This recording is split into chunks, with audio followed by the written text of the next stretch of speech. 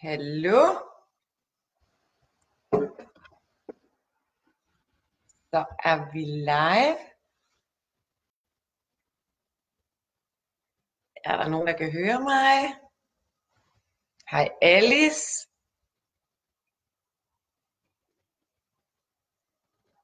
Hej Tanja Maria.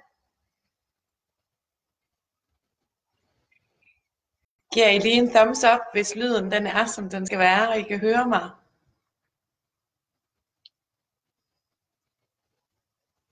Det er godt, Alice.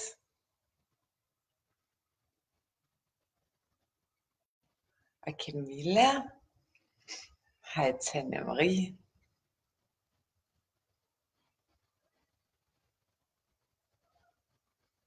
Kan I høre mig, og kan I se mig, og er alt, som det skal være?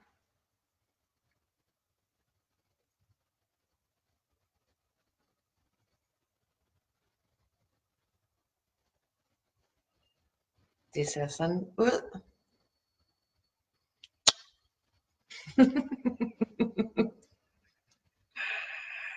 Fedt. Fedt.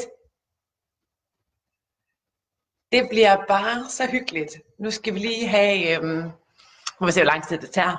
Jeg har jo internet til at snakke rigtig meget. Øhm, jeg skal prøve, så jeg kan begrænse mig, så I også kan få noget ud af jeres aften. Øhm, det fungerer på den her måde her, at, øh, at I kan stille spørgsmål undervejs.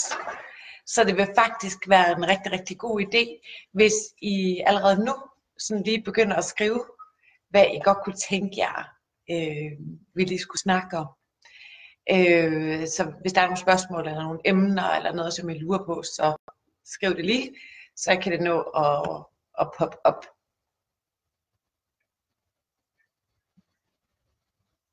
Super.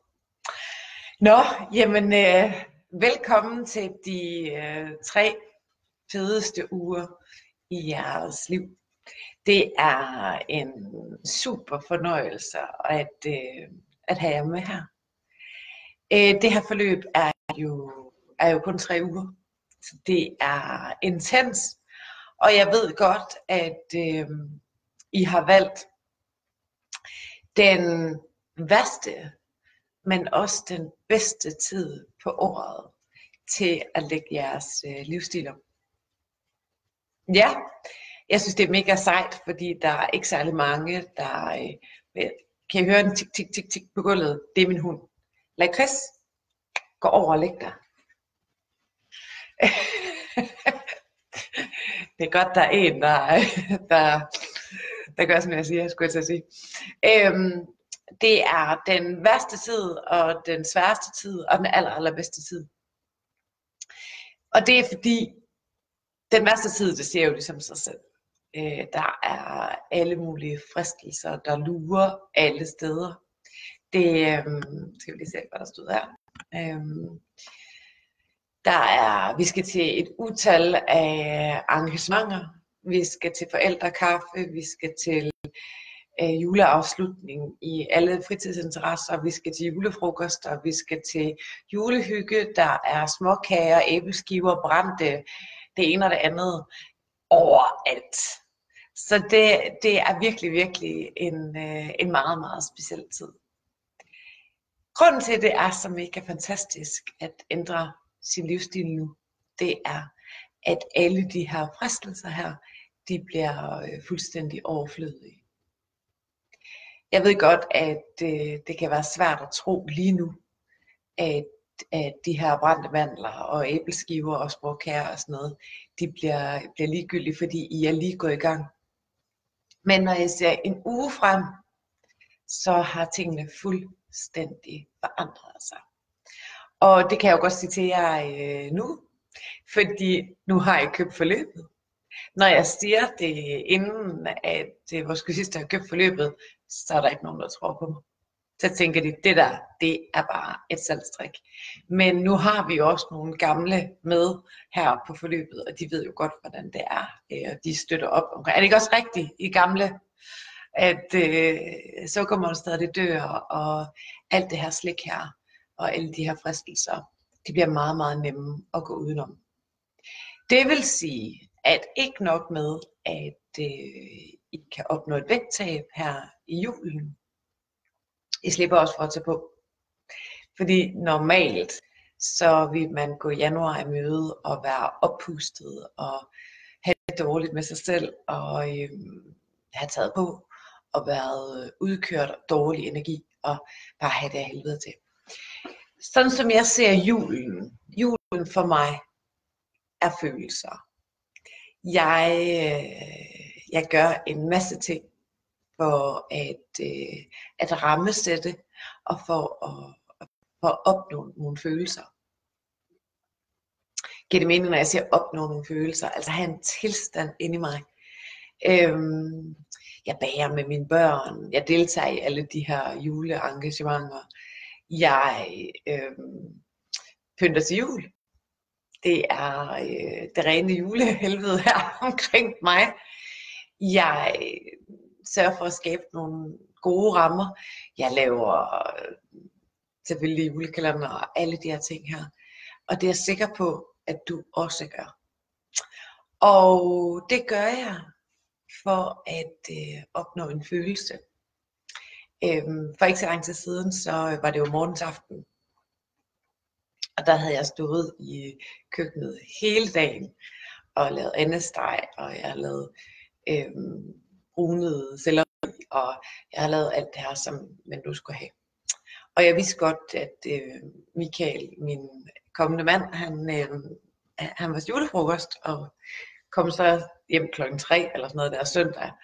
Øh, altså der var julefrokost om lørdagen, og han havde advaret mig og alt muligt, men det havde jeg sådan set ikke rigtig hørt.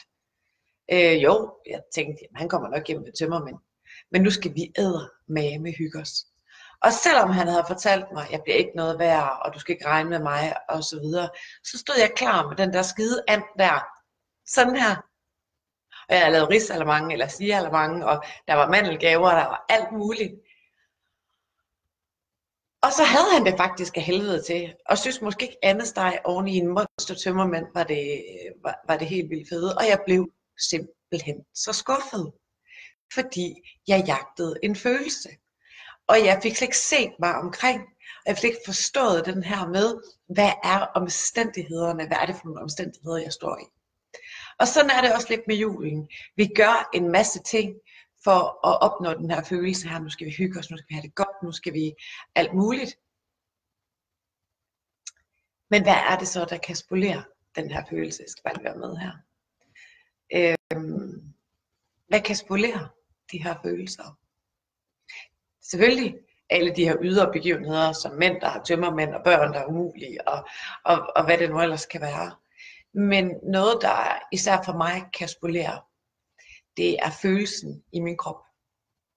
Så uh, en trilliard gang, som føles det i hvert fald, har jeg stået i situationer, hvor jeg har øh, pisket en stemning op og forventet en masse, og så er det ikke blevet sådan, som jeg gerne vil have det, fordi jeg simpelthen havde det dårligt i min krop. Jeg har siddet juleaften så for et og så oppustet, at jeg var nødt til at gå op og skifte kjole. Og øh, en time efter vi havde spist, så sad jeg faktisk og halvsov, fordi mit blodsukker havde været så højt, at øh, og nu begyndte det at falde, og jeg kunne næsten ikke trække vejret, fordi jeg var så mæt, og, og så videre. Og så kan det godt være, at anden var god, og der var pynt alle steder, og børnene de opførte sig ordentligt, og håret var vandkæmmet, og, men, men jeg havde det ikke særlig godt. Det vil sige, at jeg opnåede ikke den her følelse her. Og det er det, jeg synes, der er fantastisk med, med de fede jul. Det er, at her opnår vi følelsen. Vi sørger for, at omstændighederne i kroppen er optimale. Det vil sige, at du lærer en masse ting. Ja, det er jo en undervisning, du lærer en masse ting her i, øh, i, i hele julemåneden. Øhm, du lærer, hvordan du skal spise. Du kommer også ind og mærker noget med nogle tanker og nogle vaner og nogle mønstre. Der er flere ting, der er på spil her. Og, øh, og det er en ting. Det, og det fylder rigtig, rigtig meget. Det ved jeg godt, og der er fristelser og så videre, så videre. Men lige så snart at du begynder at mærke den her, de her fordele her i kroppen, hvor det bliver meget, meget nemmere at øh, styre udenom alle de her fristelser, så slipper vi ud af vores madfængsel. Og så er vi fri. Det vil sige, så er det ikke længere maden, der styrer os, men os, der styrer maden. Det vil sige, at vi kan vælge, at vi vil øh, give den gas på søndag. Det er nok lidt dumt, når man lige har startet med at ændre vaner her på den her måde. Men øh, det bliver et valg frem for noget, hvor man falder i. Og det bliver ikke noget, som kræver ryggrad. Fordi vi alle sammen har været på et utal af slankekurer. Vi er alle sammen prøvet at øh, skulle til og veje og måle og fraråde kroppen en masse ting. Og så er vi kommet derhen til, hvor vi bare ikke kunne holde det mere. Og så er vi et alt, vi har kommet i nærheden af. Eller vi har prøvet at sidde til det her forældrekaffe, og så sidder der sådan nogle, øh, eller står der sådan nogle tavlige småkager, øh, øh, som der er købt over i Rema til 4,95. Men på det tidspunkt, så er vi så udsultede. Er nogen, der kender det? Vi er så udsultet i vores system. Vi, er, vi har frarådet kroppen så meget næring, at vi simpelthen kommer til at gufle øh, de her kager her. Øhm, og et eller andet sted er det også mega pinligt, ikke? fordi mange kan man tillade sig at tage. Men øh, og så når vi kommer hjem, så fortsætter vi med at spise. Og der vil jeg sige, at mange måske tænker, har tænkt, har jeg en spiseforstyrrelse? Er der nogen, der har tænkt det? Fordi at, øh, at øh, jeg er så styret af mad, og mine tanker de kører rundt om mad. Hvad jeg ikke må spise, hvad jeg skal spise, hvornår jeg skal spise, hvorfor jeg skal spise, øh, alle de ting jeg ikke må spise, alt det jeg skal holde mig fra, alt det jeg skal kæmpe imod, alt. Mad, mad, mad, mad, mad. Og når det er, at vi slipper ud af vores madfængsel, øh, så bliver der frigjort en masse tid, og der bliver frigjort en masse energi, og livet det forandrer sig. Så hvis det er, at øh, man vil opnå alle de her fantastiske ting på tre uger, det er tre uger, vi snakker om. Tre uger, det går sådan her. Vores kursister på vores seks ugers forløb, der siger, at det er seks uger. Det er seks uger. Og jeg kan se, at jamen, seks uger det er lang tid. Nej, det er det ikke. Det går lynhurtigt. Så gør dig selv den her tjeneste. Jeg ved godt, det ikke er mange penge, du har givet for det her forløb. Øh, så det er ikke det, der skal være din motivation. Men en gang for alle har du mulighed for at ændre dit liv. Resten af dit liv. Jeg ved godt, det er store ord, men det er det, det fede liv kan. Det er, at det kan ændre dit liv resten af dit liv. Så jeg synes, øh, jeg synes, du skal gøre, hvad der bliver sagt. Øh, please, gør hvad, jeg, gør, gør hvad jeg siger. Gør hvad vi siger. Fordi vi har erfaring med over 8.000 kursister. Vi har gjort det her mange tusind gange før. Vi ved, hvad der virker. Det fede liv er ikke lavet, så det skal være nemt. At det så er nemt, det er super fint. Mega cool. Men det er ikke lavet for, at det skal være nemt. Det er ikke lavet for, at det skal være sjovt. Øh, at det så er sjovt, det er jo også en anden side af sagen. Det nytter ikke noget, det kan ikke blive med at sige det her. Men det er ikke lavet for, at det skal være nemt, eller sjovt, eller billigt, eller noget som helst. Det er lavet, fordi det virker. De muligheder, vi præsenterer, øh, de retningslinjer, vi præsenterer for dig i det her forløb, det virker. Så hvis det er, at du vil have øh, et resultat, og have det bedre med dig selv og forandre dit liv, så skal du simpelthen gøre, som der bliver sagt. Nu er det sådan, at der er rigtig, rigtig mange undskyldninger i status quo. Der er rigtig mange af os, som tænker, øh, jeg vil da helt vildt gerne tabe mig. Fordi øh, jeg kan godt se i spejlet, talenter. Jeg kan godt se i spejlet, at jeg ikke øh, ligner øh, øh, øh, den kvinde, øh, da jeg var 25, så ser jeg ikke ud mere. Eller det kan være, at jeg aldrig har været slank, men jeg sammenligner mig med de kvinder i bladene. Jeg kan godt se, at jeg ikke ser sådan ud, så jeg vil selvfølgelig gerne tabe mig. Og der skal vi bare være helt sikre på, at det er at det, vi gerne vil. At vi er sikre på, at vi gerne vil tabe os. Og mm, du er sikkert lynhurtig til at sige, ja, det er jeg æder med med. Hej Janne. Øh, det er jeg med mig sikker på, at jeg vil. Jeg vil bare gerne tabe mig. Men når det er, at vi taber os, så, øh, så følger der altså noget med. Der er en pris. Der er en pris, når vi er overvægtige. Så er der nogle ting, vi ikke kan. Der er nogle ting, som vi ikke øh, oplever. Der er nogle følelser, der følger med. Der er måske et lidt lavere selvværd, eller øh, vi føler os begrænset på nogle måder. Der er en pris at betale ved at være overvægtige. Men der er altså sandelig også en pris at betale ved at være slank. Hvis det er, at, øh, at vi går fra at være overvægtige til at være slanke, så, øh, så er der en pris, der hedder hovedet. Der er også en pris, der hedder omverdenen. Der er også en pris, der hedder forventninger. Der er også en, en pris, der hedder øh, al den her tryghed, vi mister. Fordi vi ved, hvor vi, hvor vi kom fra. Vi ved, hvad vi havde. Vi ved ikke, hvad vi får. Vi øh, drømmer om noget ved at øh, tabe os. Når jeg har tabt mig, så. Men hvad hvis nu det ikke sker? Altså, hvad hvis nu, at vi ikke får drømmejobbet, eller drømmemanden, eller drømmebørn, eller drømmehuset, eller drømme et eller andet, når det er, at vi har tabt os? Øh, så kan man faktisk også godt øh, putte, øh, hive lidt en, hvad hedder det, en kæppe i hjulet, lave nogle forhindringer for sig selv. Fordi det kan være utrolig angstprovokerende faktisk at opnå de ting, vi gerne vil. Og angsten for, at det så ikke øh, går i opfyldelse. Det vil sige, at vi har alle de her forventninger, alle de her opvisninger omkring, at når at, øh, at vi taber os og får det bedre, så alt muligt. Jeg vil sige, at det er ikke særlig tit, jeg oplever det. Men jeg synes alligevel, jeg vil nævne, nævne det, at øh, det er sådan en faktor. Og derfor plejer jeg også altid at sige på, på de her foredrag, de her introkurser, jeg, øh, jeg holder, holder, at øh, hvis du ikke vil tabe dig, hvis du ikke vil forandre dig, hvis du ikke vil have det bedre, så skal du ikke melde dig på her, fordi det er det, der kommer til at ske. Du kommer til at forandre dig, du kommer til at få det bedre. Øh, og du vil også tabe dig. Og, øh, og så kan man jo tænke lidt over det. Og der er nogen, der ikke er helt klar, og andre siger, jeg er med mig klar. Og så øh, kommer de øh, en uge ind i det, og så er det simpelthen for, for vildt at øh, alt det, der sker. At de så fortsætter og, og, øh, og, og finder en måde, det er jo super fantastisk. Men der, der er bare rigtig, rigtig mange faktorer, der, øh, der spiller ind, når det kommer til vægttab og til den her forandring.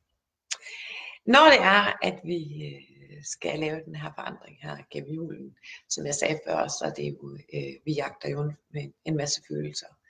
Vi spiser også på alt muligt andet. Er der nogen, der har prøvet at spise, når de var ked af det? Nogen, der har prøvet det?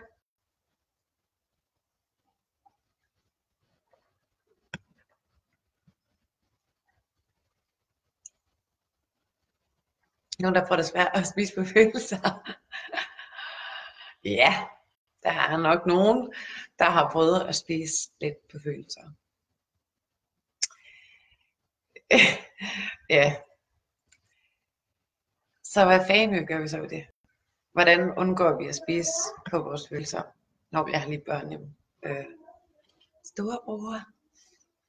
Øhm, vi spiser, når vi er glade.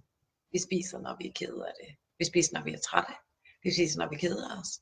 Vi spiser, øh, når øh, man er en idiot. Vi spiser, når vi har menstruation, op til menstruation. Vi spiser om eftermiddagen, fordi vi ikke kan holde energiniveauet op. Vi spiser for alt muligt andet end sult. Her når vi kommer ind her i, i næste uge, så skal vi faktisk begynde at snakke meget om det her med at mærke sult og mærke mæthed. Og jeg vil sige, at det er en meget, meget øh, åbenbarende, hvis det er et ord, øh, åbenbarende følelse at øh, finde ud af, hvornår man er sulten og når man er mæt. Og det er, øh, det er nemmere sagt end gjort. Men på den måde, der slipper vi også ud af vores madfængsel. Når det er, at vi finder ud af, hvad er det, min krop den fortæller mig nu. Fortæller den mig, at jeg er mega ked af over, at jeg har været op skændes med min bedste veninde eller fortæller den mig, at ah, den har virkelig behov for at hvile nu, fordi den er mega træt, øh, og jeg har kørt den alt, alt for hårdt. Øhm, eller er det faktisk, fordi jeg er sulten? Og jeg plejer at sige, at hvis man er i tvivl, så er man ikke. Det vil sige, at er man i tvivl om, man er sulten, så er det fordi, man ikke er sulten. Og den kan du sådan lige have til at ligge i baghovedet her, når vi går ind i, i næste uge, i forhold til at, øh, at mærke efter, om du er sulten. Og så prøve at udfordre den her sulten en lille smule. For det giver øh, kroppen en mulighed for ro. Når det er, at vi spiser hele tiden, så stresser det kroppen mega meget. Og det er meget, meget sundt for kroppen at holde de her pauser mellem måltiderne, øh, hvor den jo så slår over og forbrænder fedtet på kroppen. Så den skifter mellem at forbrænde fedtet i maden, øh, og så forbrænder den fedtet på kroppen. Der er sikkert nogen af jer, der begynder at få det sådan lidt mærkeligt. Er det ikke rigtigt? Sådan lidt, øh, måske lidt ondt i hovedet, og være sådan lidt træt, øh, og nogen der har. Yvonne Blak, du er simpelthen med os igen. Dig har jeg ikke set i to år. Er det ikke rigtigt? Det var da dejligt. Ja.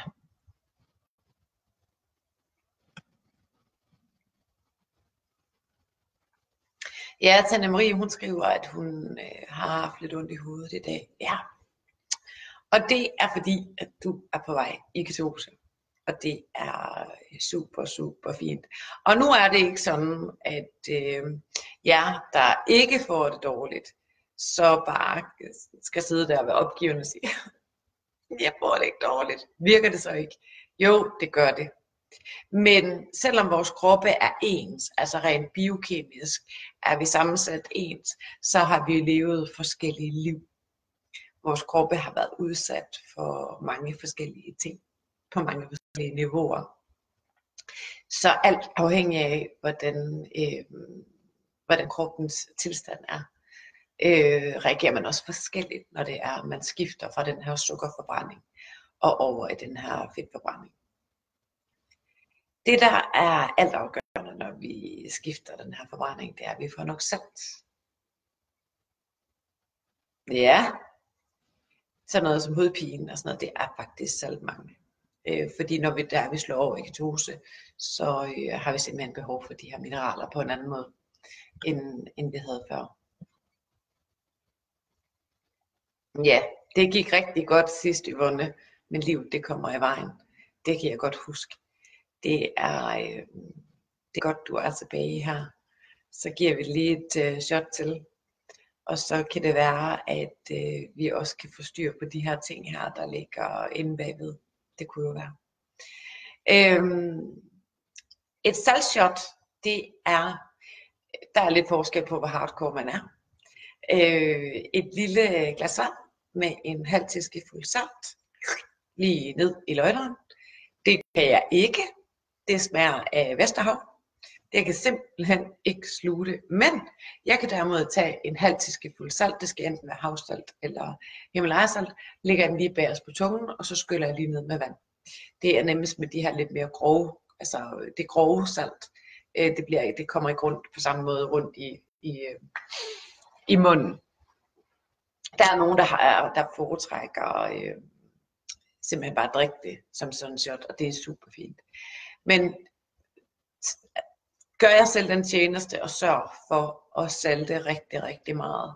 Og, og heller, på den, heller for meget salt end for lidt salt. Du kan ikke få for meget salt. Og slet ikke af, af havsalt og Himalaya-salt. Øhm, så, øh, så vi kan undgå de her ting her.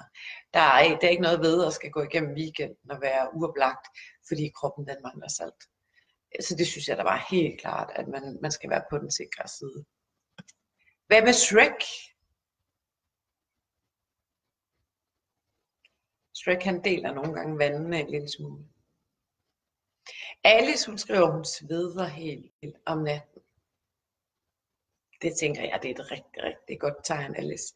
Der sker nok en, en rigtig stor udrensning ved dig.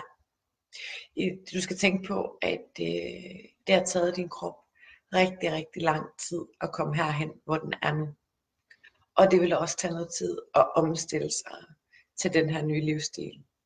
Normalt, når det er, at man skifter en livsstil, eller går på en eller anden kur, eller et eller andet, så sker der faktisk ikke så meget biokemisk. Men her i det fede liv, der sker der rigtig, rigtig meget biokemisk. Øhm, hele kroppen skal ændre forbrændingsmotor. Øh, så derfor er det meget, meget vigtigt, at man anerkender, at, øh, at kroppen den har behov for hvile, klapper den lidt på skulderen, om at, at det er stort arbejde, stort arbejde, den har gang i. Inden i alle vores celler, der sidder der sådan en lille kraftstation.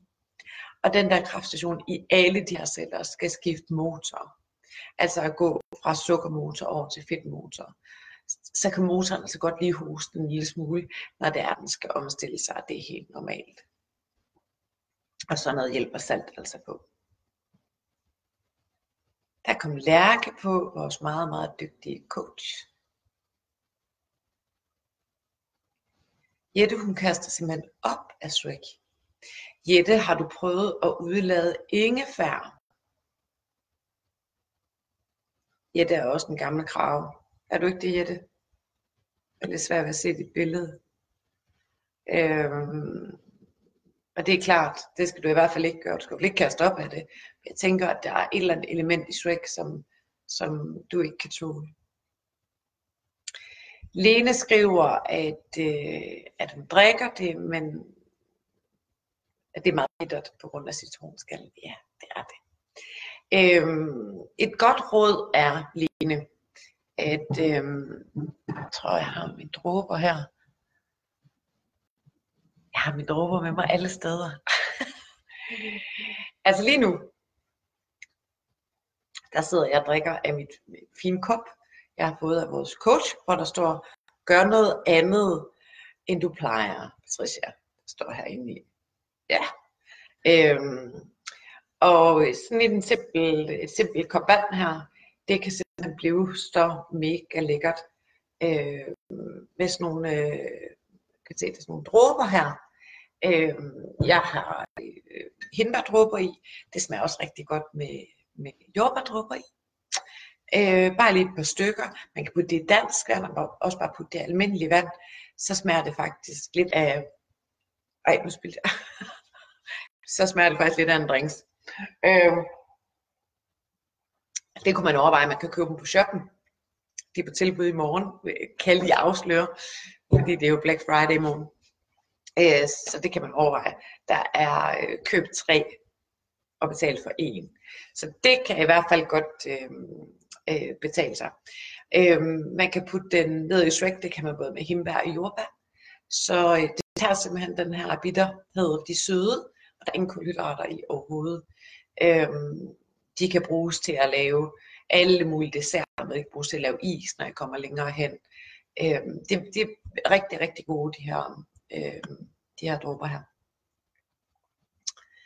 Øhm, Kirsten spørger, om det er en, en halv, gerne halvanden deciliter, Kirsten. Jo mere, jo bedre. Fordi Shrek er bare så fantastisk for dig. Han er så god for hele dit system. Og jeg vil sige, øh, man kan faktisk godt blive lidt afhængig af ham. Der, altså, vi har gamle kraver, der har levet DFL i, i flere år, altså i to år, og øh, som stadigvæk er dybt afhængige af Shrek. Så det synes jeg da bare.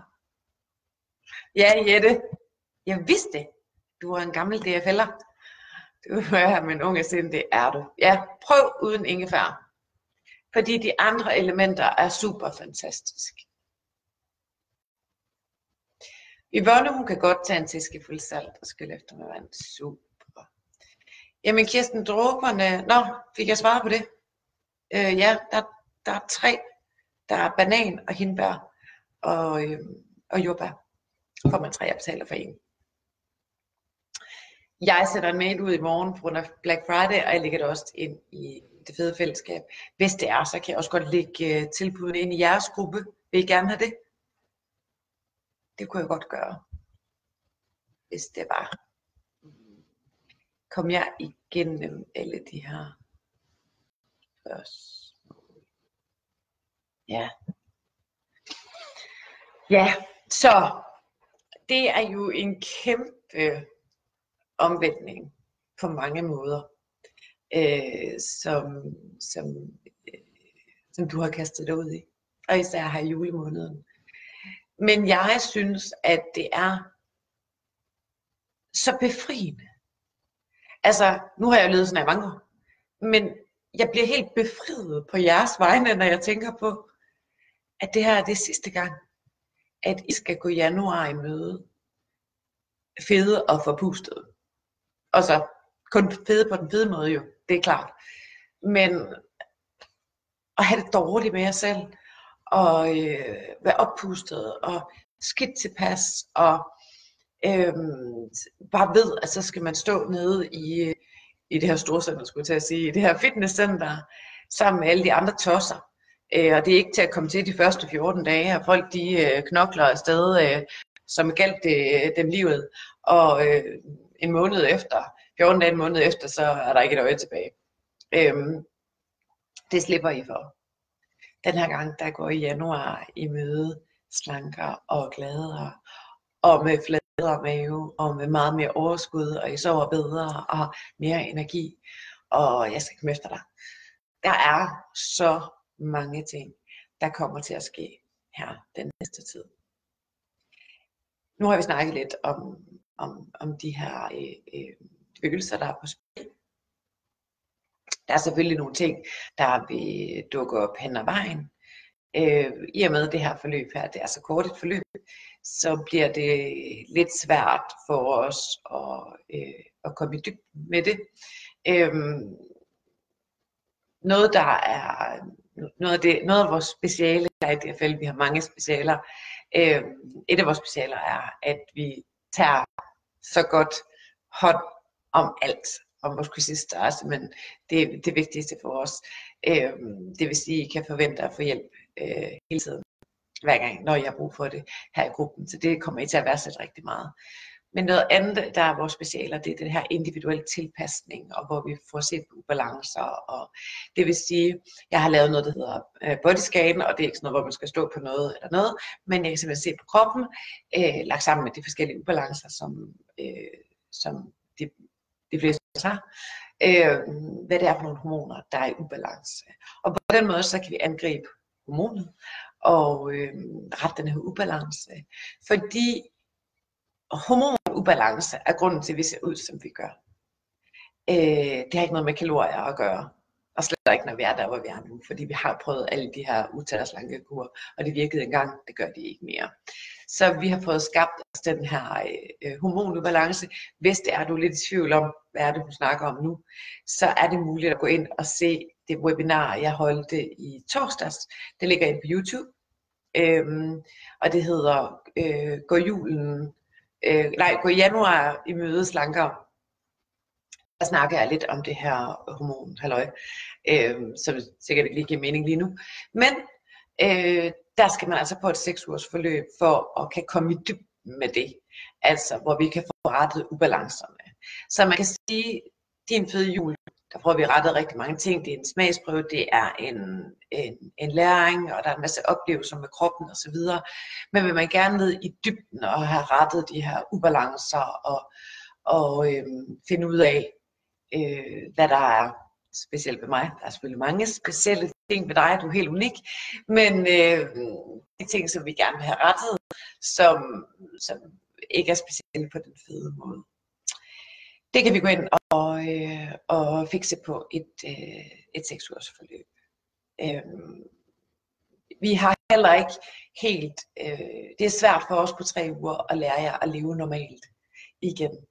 Så der må man desværre også videre på et, øh, et 6 ugers forløb.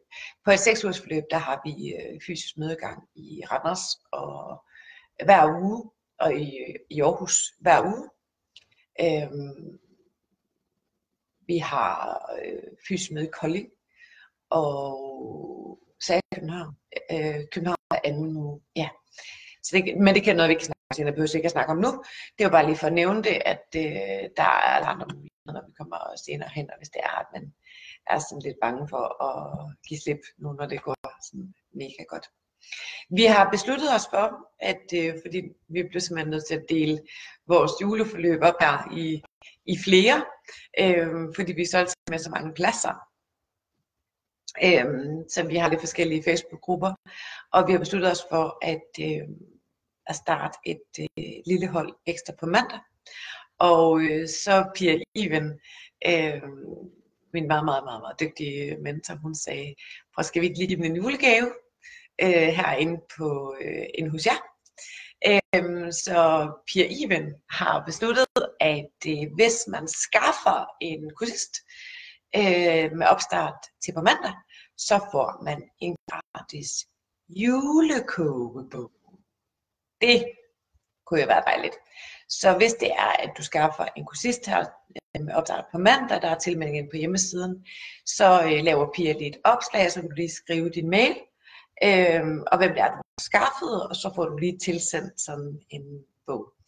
Det er jo mega smart. Hun er så sød og gammel. Øhm, Sille hun skriver, når hun er gammel DFL'er. Det ved jeg godt. Hun skriver, at hun er svær ved at komme af med sin runde mave. Hun har smidt 20 kilo ret hurtigt, men står lidt i stampe. Og derfor kommer hun igen. Ved du hvad, Silja, det synes jeg bare er super, at du kommer igen. Og det er jo også derfor, vi har øh, øh, gengangere med her. Det er fordi, når det er, at vi er færdige med at have været på et treårsforløb, og så måske på et seksårsforløb, så kan det godt være for nogen øh, sådan lidt, øh, man kan godt få tillagt sig efter noget tid lidt nogle vaner. Ej, så ryger der lige lidt for mange øh, dit og datten og dutten, og lidt for meget af det mørke chokolade, og lidt for meget det ene og det andet. Øh, af de her lækkerier, som vi gerne må spise. Og så kan det godt være svært at, at blive ved med i hvert fald at tabe sig med samme hastighed. Og derfor er det jo super fint, at du er med her, så du lige kan få det støtte, og vi lige kan holde dig lidt i hånden, og du lige kan genop, få genopfrisket, og så kan du lige få brudt øh, nogle af de her øh, små øh, sidespring, nej, hvad hedder sådan noget, øh, unoder hedder det, ikke sidespring, unoder, som du har fået tillagt dig. Mm. Ja, du spørger, om vi sender fra shoppen. Det gør vi. Vi sender på mandag. Så er vi klar til at sende igen. Ja, altså der er jo tusind ting, vi kunne, vi kunne snakke om. Øhm, er der nogen, der lige har nogle spørgsmål?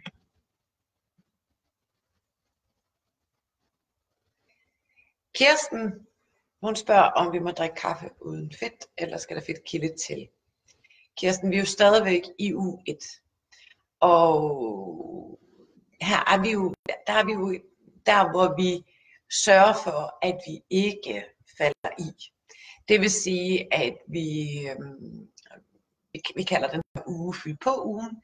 Det vil sige, at vi spiser øh, virkelig, så vi er sikre på, at vi er med det, og så har, har vi øh, et lille nødkit i tasken, så hvis det nu var, at, at øh, øh, køen til, når vi står nede i Legoland, ikke det er sikkert at åbne nu, måske her julen, men når køen er mega lang, til øhm, øh, pølsevognen og helt vildt kort over til ishuset, så vælger vi ishuset, fordi vi skal have noget, og det er nu. Øh, så det er super fint lige at have et par spejepølsehapser, eller postehapser, eller et eller andet med i, øh, i tasken. Det her med at drikke kaffe med fløde, dem som er vant til at drikke kaffe med mælk.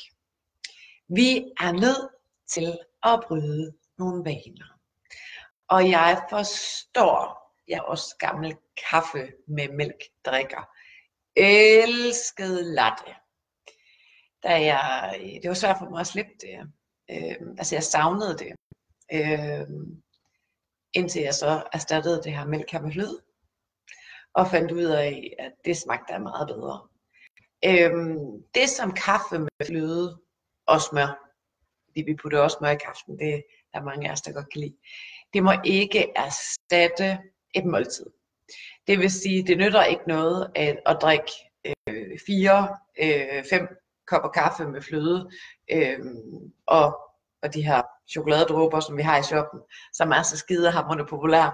Øh, det er sådan nogle ligesom her. Det er der ikke noget, at man drikker det over hele dagen, og så kan man ikke spise øh, hverken morgenmad eller frokost eller aftensmad. Det må ikke gå ind og erstatte måltider. Det skal, vi skal stadigvæk sørge for at få vores, vores måltider. Og den her unode med at gå og drikke kaffe dagen lang, altså det må vi gerne, så skal vi drikke den sorte, eller så skal vi putte de her chokoladedråber i, fordi de giver en følelse af, at vi får noget. Øhm, men men at, at, at, at gå og drikke sådan en kaffe med fløde dagen lang, det dutter simpelthen ikke. Det er også en vane, vi skal have lagt fra os, fordi øh, det er super fint at tage en kop kaffe eller to om morgenen, øh, eller en kop kaffe om eftermiddagen, når vi kommer hjem. Men at gå og, og fylde på på den her måde dagen lang, det er en dårlig vane. Og nogle gange så tænker jeg, at vi skal spørge os selv en lille smule, øhm, hvorfor er det, at vi gør, som vi gør? Fordi rigtig mange gange, så gør vi, som vi gør. Fordi det har vi altid gjort. Vi har en masse vaner, og øh, vi skal altså have gjort op med, noget, med nogle af de her vaner her. Og en vane, det er noget, som vi har øh, tillagt os. Det er noget, vi har gjort på et tidspunkt, hvor det gav mening. Og så har vi gjort det en masse gange. Og blevet ved med at gøre det, og ved med at gøre det, og ved med at gøre det. Og til sidst er det blevet en vane. Og så er det sådan lidt det her med, øh, jamen hvorfor gør du den? Det er faktisk ikke det, fordi det er altid, det er altid gjort. Så vi forholder os rigt, ikke rigtig til det, vi gør det bare. Og der vil jeg rigtig gerne have, at vi stopper op og kigger på den her vane og spørger, gavner den mig? Gør den, jeg kommer tættere på mit mål, eller længere fra mit mål? Og den gør faktisk ikke, at jeg kommer tættere på mit mål. Nå, gør den så, at du kommer længere fra? Ja, det gør den faktisk. Så får vi lige opløst den her vane her. Vi får det på den vand, der drejede, og spurgte dem, hvorfor, hvad, hvad kommer den af? Hvornår gav den mening? Hvad var, den, det, hvad var det, den gav der? Måske hvis man drikker syv kop kaffe på en dag, så er det nok for at så vågen, kunne jeg forestille mig. Eller fordi man er på sultekur, øh, og man gerne vil holde sig mæt, så man går og drikker noget dagen lang. Men det her, det er øh, for det første en sultekur, og for det andet, så har vi slet ikke behov for at fylde på med koffein. Koffein er jo også vanedannende på den måde, det mister sin, øh, det mister, altså det mister effekten, så det er ikke sådan, at, øh, at når man siger, jamen jeg skal bare have min kaffe for at vågne, øh, nej, altså du, du, du, du, du bliver afhængig af det, men, men, men så er det altså heller ikke værd som sådan. Det er altså noget, man kan stoppe med igen. Så vi skal se på de her vaner. Der bliver brugt rigtig, rigtig mange vaner her i starten. Og vi skal have fundet ud af, om den her vane den gavner mig, eller at, at, at, at den ikke gør. Så skal vi have lavet nogle nye vaner. Og når vi skal bryde de her gamle vaner, så kræver det bevidsthed. Vi har spist på klokslet. Vi har spist, når alle andre har gjort det. Vi har ikke forholdt os til, om vi var sultne eller ej. Vi har gjort det så mange ting på vaner. Og vi ved faktisk ikke, hvorfor vi gør det. Når vi skal bryde sådan en vane, så kræver det en bevidsthed. Det vil sige, at vi, det, er, det er et aktivt valg. Vi er nødt til ligesom at beslutte os for, at nu skal jeg bryde den her vane her. Og når, når man har spist øhm, helt almindelig mad, som måske har spist før, man har spist fredagslæg hver evig eneste fredag osv., så har man også gjort det af vane, plus man har tillagt en masse følelser, hygge og traditioner osv. Ligesom med julen, det er masser af følelser og traditioner, det er bare følelser, det er bare vaner. Øhm, det er bare noget, vi, øh, øh, vi jagter. Når det er, vi skal øh, have brudt dem her, så kræver det en, en, en bevidsthed. Og derfor kan det godt være en lille smule svært. Men på et tidspunkt, når du har gjort det her, når det er, at du har spist din rene fedtkilde til dit måltid, øhm, igen og igen og igen, så får du brudt den her vane her. Eller så har du brudt den her gamle vane, så får du skabt den her nye vane. Så grunden til, at du har en vane, det er fordi, du har gjort det rigtig, rigtig mange gange. Så er det blevet til en vane. Det vil sige, at hvis du gør det her rigtig mange gange, så kan det også blive en vane. Står du forskellen? Så øh, øh, jeg vil gerne spørge dig, hvad gør du på vane? Hvad gør du, fordi du altid har gjort det? Jeg stikker på dig rigtig, rigtig mange ting, som du gør. Øh, på vane. Ja. Øh, Mette hun spørger, hvad en kaffe med en lille skvis fløde. Det Det må du gerne med det, især hvor du er nu. Må du rigtig gerne. Så, alle sammen. Øh, vi er øh, vi er klar. Vi er klar. Vi er saftsus med klar på at skal ændre øh, vaner og ændre liv. Og øh, ah, Åh oh, gud, nu får jeg tøj i øjnene. Det er typisk.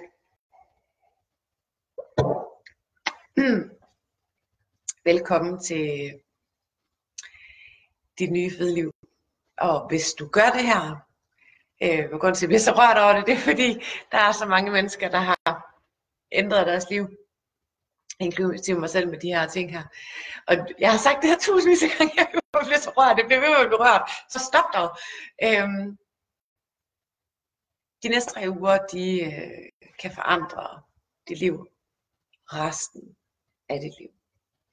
Og øh, det er altså ikke små ting. Så velkommen til, øh, til dit nye fede liv. Øh, livet bliver aldrig det samme for dig igen. Ja, Nej, jeg er en tude Marie. Øhm, jeg tænker, at, øh, at vi skal afslutte nu, og så vil jeg prøve at holde øh, endnu et live her i næste uge. Og der er du blevet så meget klogere. Der har du, øh, der har du oplevet så mange øh, forandringer. Og du har fået det så meget bedre med dig selv, og du er begyndt at tabe dig, og din mave er blevet fladere, og, øh, og lykken vil ingen ende til. Øh, ah, heldigvis det er kun en uge. Det kan godt være, der lige går lidt tid før, at øh, du løber på væggene. Øh, vi ses om en uge. Skriv endelig alt, hvad I overhovedet kan øh, inde i gruppen. Der er ingen dumme spørgsmål. Vi har hørt alle spørgsmål før. Der er ikke noget, vi ikke har hørt. Og det mener jeg, der er ikke noget, vi ikke har hørt, der er heller ikke noget, vi ikke har set. Så øh, øh, kom med det. Øh, hvis det er, at man virkelig har behov for at tale med mig om noget, øh, noget vigtigt, så har jeg telefontid alle hverdage øh, fra klokken halv ni til ni. Øh, hvis jeg ikke lige tager den, så er det vi jeg snakker, så læg lige en besked, øh, og så, øh, så jeg lige kan aflytte den og vende tilbage. Øh, min nummer det står inde på hjemmesiden, ellers så er nummeret 42 36 08 38. Hvis du specifikt er fat i mig, skal du trykke 1. Hvis du er fat i administrationen, som tager sig af alt det praktiske, skal du øh, tage stå. Ja, Tanja Maria, du godt nå et spørgsmål. Øh, Dorte, hun spørger, hvad sagde du tidligere om en bog? Jo, det jeg sagde, Dorte, det var, at, øh, at Pia Iven havde øh, fået den her super gode idé, fordi nu har vi startet, vi har været nødt til at dele ud i de her forskellige Facebook-grupper for ikke at, at, at få store hold, at hvis det er, at man skaffer en kursist til juleforløbet, der starter på mandag den 2. december, så får man en gratis jule-e-bog. Så Pia laver lige et opslag, og hvis det er, at man har øh, skaffet en kursist, så skal man lige skrive navnet på kursisten og sin egen e-mail, og så sender jeg dig lige en, en, en gratis e-bog. Øh, Tanja Maria spurgt, Cola Pepsi Max?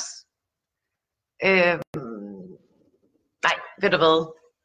Prøv at det er ikke Pepsi Maxen, der vælter, vælter læsset, det skal jeg love dig for. Øh, det her med øh, sødemidler, det er jo en øh, religion. Så det forholder jeg mig ikke til.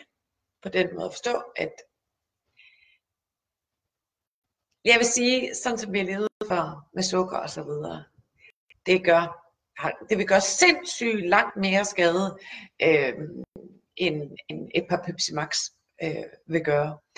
Jeg øh, undlader at ytre min holdning til det her med sødemidler, netop fordi at det er sprængfarligt. Øh, altså, der, der er mange, der kan meget hurtigt blive sure over det.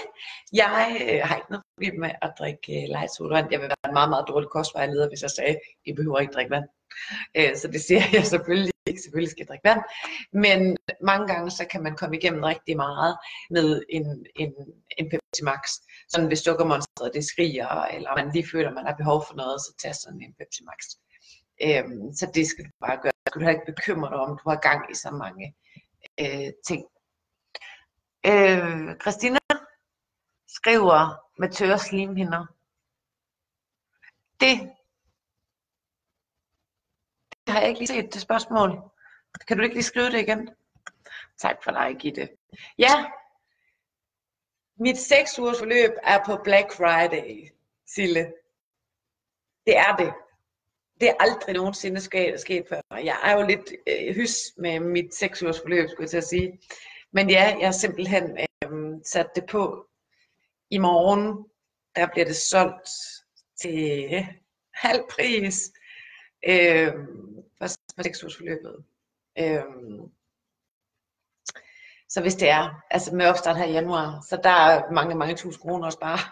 Øh, vi sælger alle vores e-bøger øh, til halv pris også i morgen. Vi kører 25% ind på shoppen, det er vel shoppen. Øh, og øh, ja, øh, men jeg lægger det op ind i jeres gruppe, så kan I lige se det øh, øh, i morgen. Øh, ja, Christina, nå, nu skal det se, at der er der skriver her. Ja, du skal på i Kolding, Sille. Ja, what med det? Jeg sælger det til, en, til halv pris, men prøv at høre. Altså, vi laver altid konkurrencer. Altid konkurrencer på alle. Hver gang jeg starter et forløb i en by, så laver jeg øh, konkurrencer om gratispladser, fordi alle skal have mulighed for at deltage. Øhm, og det er så skide smart med det her, undskyld mig, fucking Black Friday og så videre. Og selvfølgelig er vi også nødt til at være med, være med. men det jeg også tænkte, det er, at øh, der er selvfølgelig nogen, der måske, øh, altså 2500, også selvom man betaler i to rater, og det lige har 20, det er selvfølgelig mange penge. Og skulle man så glip af øh, altså alt, alt det guldkorn for det?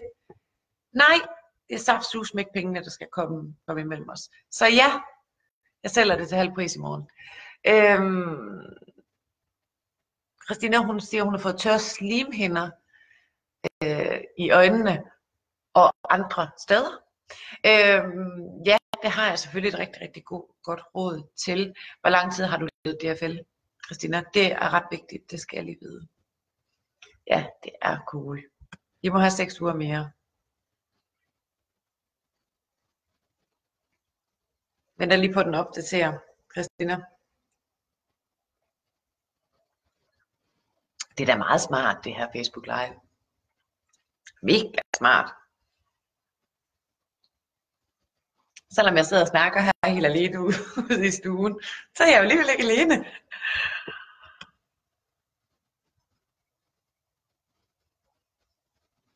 Nå, det er ikke sikkert, Christina, hun lige ser det. Eller hører, hvad jeg siger. Øhm, I forhold til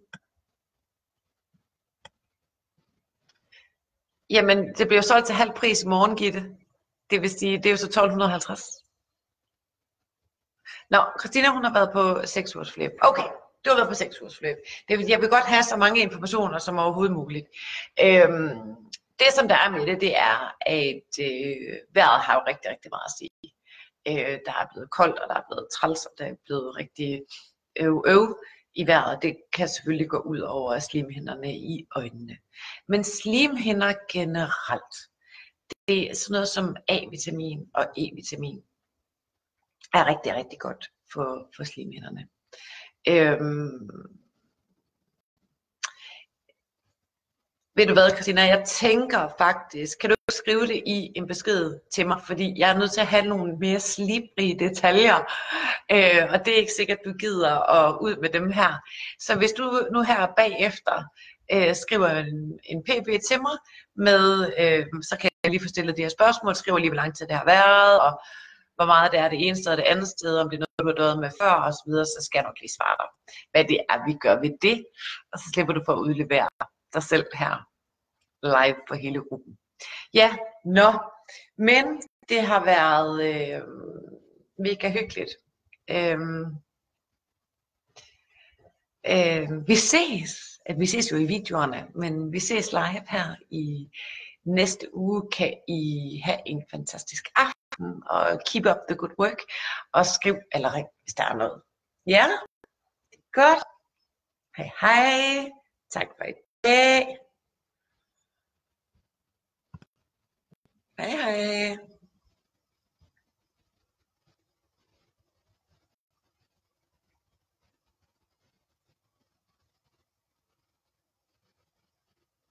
Jeg er så søde.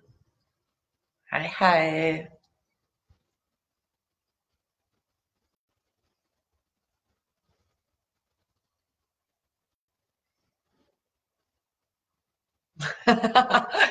så, nu lægger jeg på. Det er mega nederen, hvis jeg lige har fundet ud af nu, ikke? At øh, jeg har fået stikflæsk og persillesauce her til aften, ikke? Så jeg har siddet med persille i tænderne. Så kikset er man også. Vi ses. Tak for i dag. Hej.